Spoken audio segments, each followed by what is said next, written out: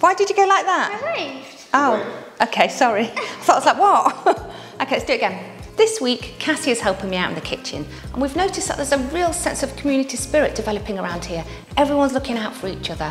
What we decided to do is bake some pasties and share them with our elderly neighbour. He really doesn't cook very much, and you can pop these in the freezer for when he needs them. Now we're going to keep it really simple because that's how he likes it, and I've started with some dry cure smoky bacon. I've just started sizzling it in a little bit of butter.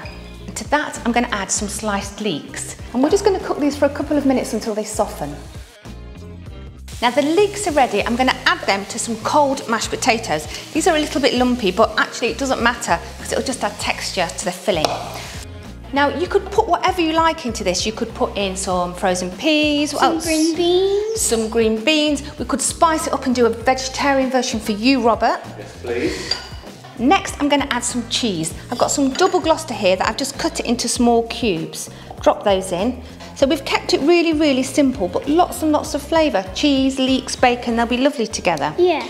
We're using this, which is all butter puff pastry, and I've just taken it out of the freezer and thawed it. But you can get fresh pastry that's got no butter in, so it's suitable for vegans. There's two sheets in here, so let's take one each. And I'm gonna cut them in half, so you've got two pretty well even-sized rectangles. Okay.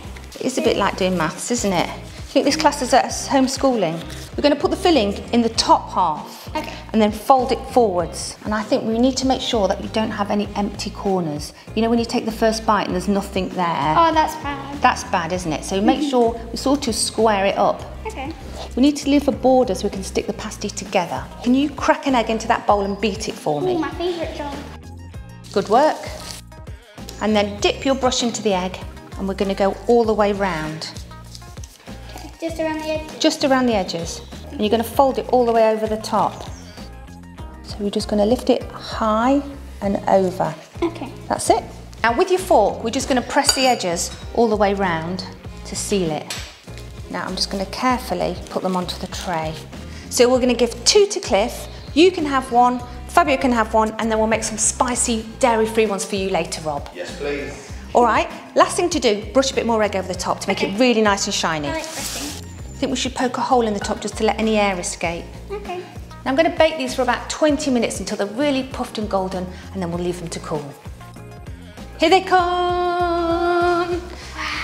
They look really good, don't they? Yeah. They're a little bit too hot to eat now, so we'll leave them to cool a bit and then you can eat yours. Okay. And then we'll pack the other two up and take them to Cliff. Okay. Yeah.